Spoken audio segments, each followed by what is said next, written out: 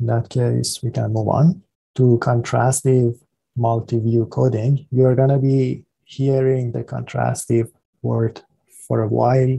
And the reason I'm doing it is because I want to look at it from different perspective and understand it deeper and deeper.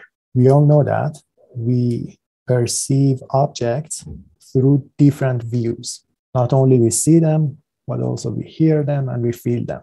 And sometimes we touch them. It's the same object, but you're approaching it from different perspective. Let's forget about the multimodal nature of this and focus only one on one mode, perhaps vision. You can look at the same thing from different angles. And then this is going to give you M views of the same object.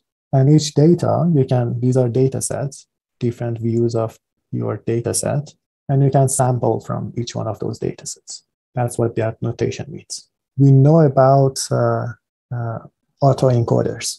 We actually went beyond them and we covered variation autoencoders, which was stochastic autoencoders. But this is very old concept from 1980 or before. And this is for unsupervised learning. You take a representation of your image, perhaps black and white, you featureize it, you take your features and you want to reconstruct perhaps some other, the color channel or the luminance channel.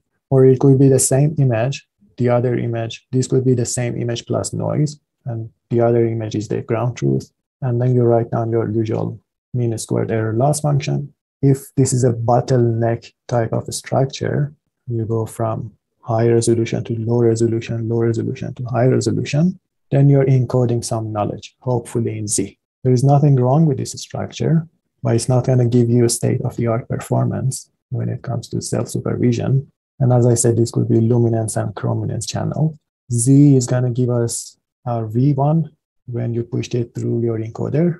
G is going to be the decoder, is going to give you V2, the prediction of V2. Z is your latent variable, and then you want V2 to be similar to V2, the prediction to be similar to ground truth using one of these objective functions. Smooth L1, L1, L2, you name it.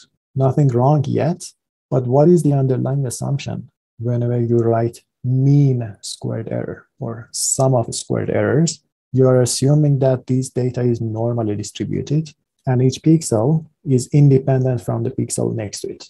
It is if you have the normal distribution in the nor- in the formula for normal distribution you have exponential so it's going to be the product of a bunch of exponentials you take a log of products that's going to turn into summation of the logs of exponentials. Log is going to cancel the exponential and then mean squared error is going to come out. That's where the sum of squares or mean of squares is going to come out. The independence assumption is not such a great assumption here because this pixel could depend on the other pixel, even if you condition on the input or even if you condition on Z. And this is one of the reasons why autoencoders don't work that great when it comes to unsupervised learning or self-supervised learning.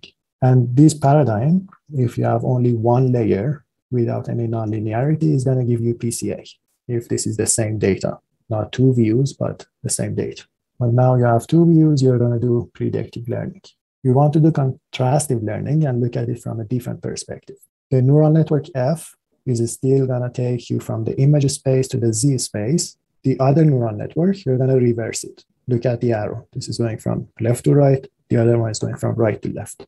And on the Z space, normality assumption and uh, independence assumptions are going to make sense because your network is going to work hard for that to happen.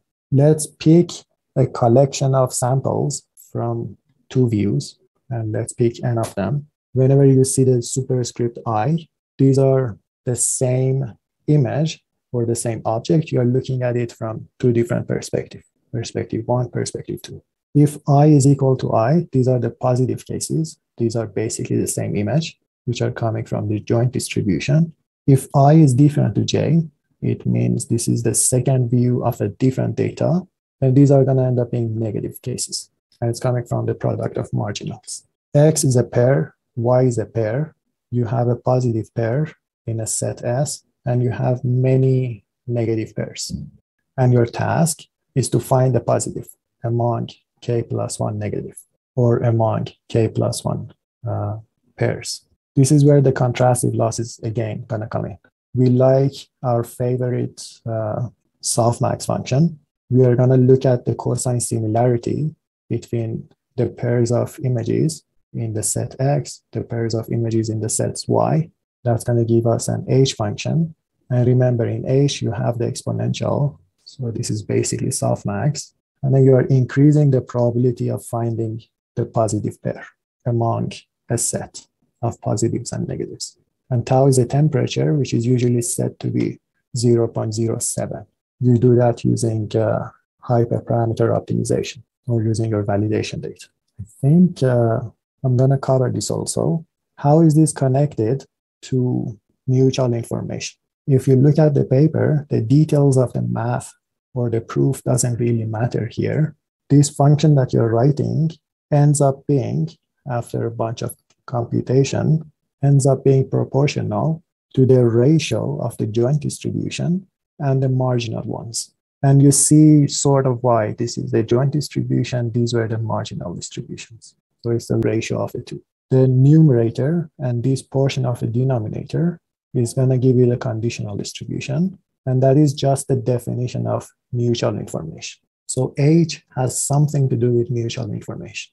It turns out that the mutual information at the pixel level is bigger than or equal to the mutual information at the Z level. So you have this data here, this other data here. You have two corresponding Zs, and it makes sense. You're losing some information as you go through your neural network. This inequality makes sense. The other inequality, you write it down, you expand it, and then there are some KL divergence that you ignore. And that's going to give you than, bigger than or equal to a constant. This is where the size k comes in. The bigger is k, the better is going to end up being this approximation, this inequality. And this is the loss of the contrastive learning. This is the contrast loss. You want to minimize that, which is equivalent to maximizing the negative of the loss of the contrastive learning. It means that you're increasing the mutual information between these pairs of images. So whenever you're minimizing contrastive learning, you're maximizing the mutual information between one view and another view. I think I'm gonna stop here and continue the rest next session. Any questions? I'll be around.